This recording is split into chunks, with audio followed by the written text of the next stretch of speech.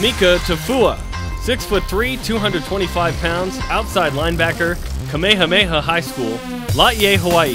Four star prospect by ESPN.com and 24 7 Sports. The number 19 rated outside linebacker in the nation and the number 5 overall prospect in Hawaii by 24 7 Sports. ILH Co Defensive Player of the Year and a first team Honolulu All Star helped his team to a 4 3 league record.